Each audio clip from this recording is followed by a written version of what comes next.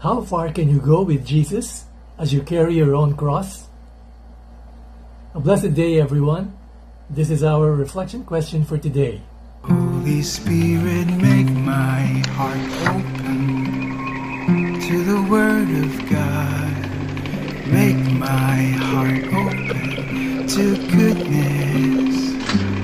Make my heart open to the beauty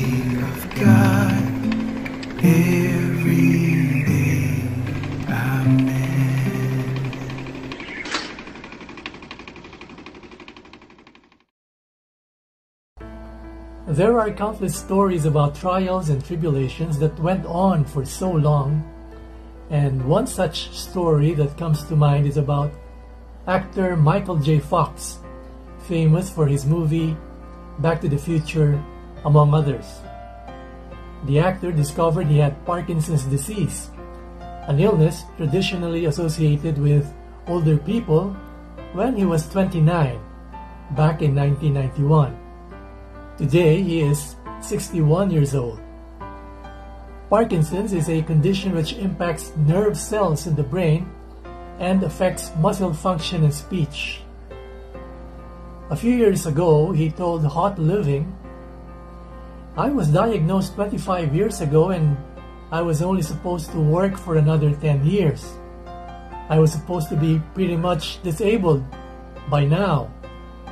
I'm far from it. This is as bad as I get. I can still go to the store and go marketing. In 1998, when he testified in front of Congress about awareness and research for the condition, it took seven years between when I was diagnosed and when I went public with it.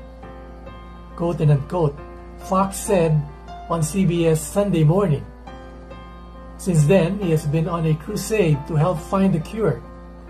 The actor has raised millions of dollars towards Parkinson's research through his Michael J. Fox Foundation, which has funded more than $100 million in medical research. It has been a 32 year battle with Parkinson's for Michael J. Fox, the illness being his cross. But it seems that time is on his side. As a respected doctor, he has used his platform powerfully to find a cure, not just for himself, but for numerous others. In today's gospel, Jesus calls us to costly obedience.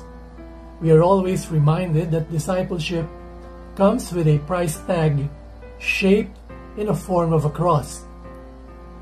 Are we willing to deny ourselves, pick up our cross, and follow Him? Life typically presents us with a variety of crosses. Some of them are more difficult than the others. However, it is not easy to accept the cross, be that illness, financial challenges, family difficulties, unemployment, depression, etc. However, what may be helpful or detrimental to us is how we view our cross. Do we view it as a burden or punishment? Or do we believe that crosses simply are part of our lives just as joy, misery, and love are part of our human existence. The reality of being human means that we will suffer, just as we will experience peace, comfort, and joy. But the gift is, when we are carrying a cross, Jesus is with us, and He will surely help and share in carrying the heavy load. During difficult moments, it will be helpful to try to look beyond our cross and ask ourselves, what are the gifts that I am blessed with? Simply put, it will be wise and prudent to count our blessings in times of trials and tribulations. And we will be surprised that, as we pick up our cross and follow Jesus to Calvary, our blessings undoubtedly will far outweigh our sufferings. Let us pray. In the name of the Father, and of the Son, and of the Holy Spirit. Lord God, I wish to deny myself, take up my cross, and follow you. Give me the strength to deny the pleasures of this sinful world so that on Judgment Day I may inherit the kingdom of heaven. Jesus, I trust in you. In the name of the Father, and of the Son, and of the Holy Spirit. Amen. God bless your families, brothers and sisters.